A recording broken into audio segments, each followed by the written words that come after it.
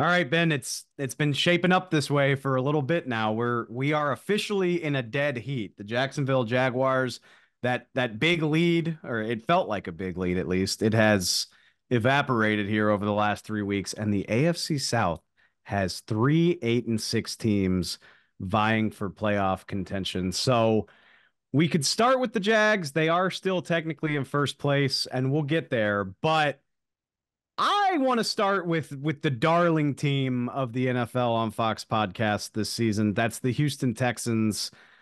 They find a way to get it done in Tennessee. Maybe not the the prettiest game of their season, but you know what? It it doesn't matter. It's a win and it gives them a week to try to get CJ Stroud back into the lineup.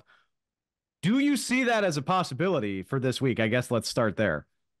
Yeah, I I imagine it would be a possibility as of today when we're recording, CJ is still in concussion protocol. That's what DeMeco Ryans told reporters on, on Monday, but I, I, imagine he has a good chance to play this week. Uh, just, I mean, we have seen more serious concussions, like even in my own division, like the Titans, Titans receiver Treylon Burks missed uh, about uh, three, three or four games with a concussion. Uh, so it, it is possible for those kinds of injuries to kind of like prolong. Um, but I, I think in most cases we've seen guys be able to come back after uh, missing one game. So I, I, imagine that's in the plan.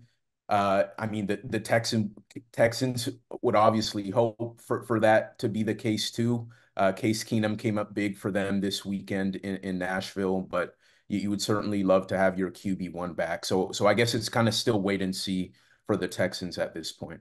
I couldn't help but think about you at the in the home stretch of this game. Not a very memorable one. It it kind of looked like not having CJ was going to sink them in the end and then they they kind of catch fire there at the end for for two scoring drives in the last 15 or 20 minutes of the game.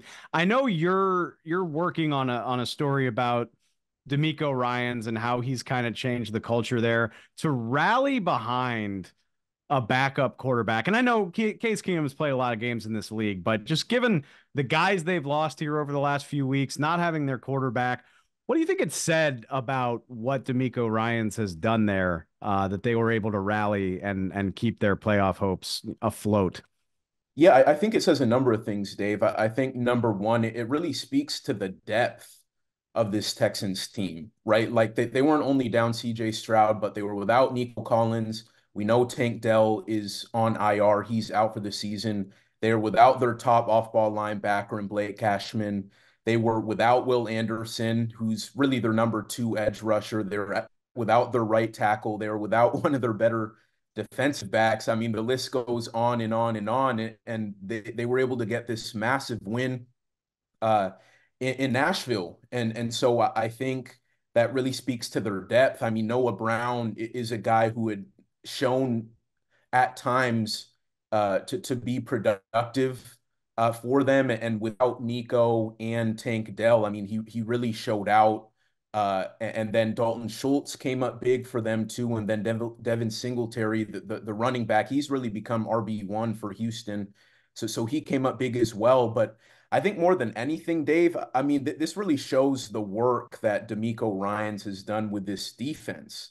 Uh, I think from from the start of the year that they'd shown improvements from what was last season a, a disaster. But I, I, think as the year has worn on, they've continued to get better and better, and, they're really the the primary reason uh, they won this game. I mean, Derrick Henry is a guy who has gone bonkers on them for for years. He's had multiple 200 yard rushing games against them and he only had nine rushing yards on, on 16 carries, his worst uh, rushing performance as a Titan starter. Um, really bottled him up. They bottled up DeAndre Hopkins. They sacked Will Levis seven times. I know the Titans O line has a lot of issues, but sacking him seven times was huge. Derek Stingley showed out.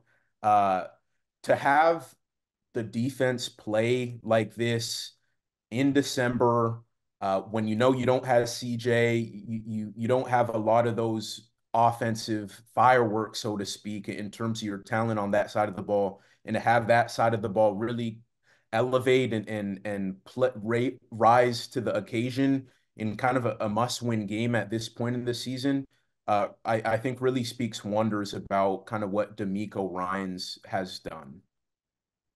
A must-win game, and also it had to have felt so good to get a win over the Titans when they were wearing those Oilers uniforms. Like exactly. what a what a petty move by Tennessee.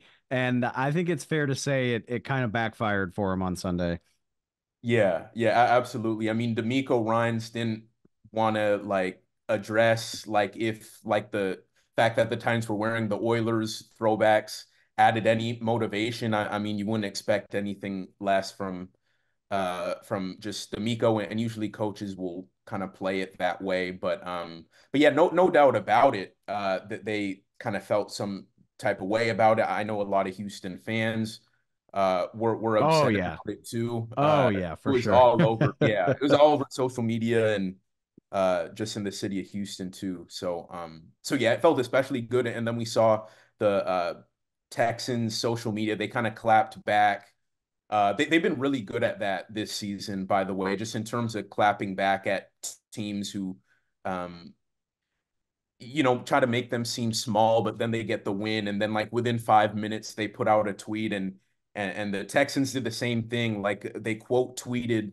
a tweet the, the Texans had about just wearing the Oilers throwbacks, and they, you know, so, so it's just kind of fun. But, but yeah, I know, I know it really fired them up to, to be able to do it uh, to, to be able to do what they did with, with the Titans wearing those jerseys.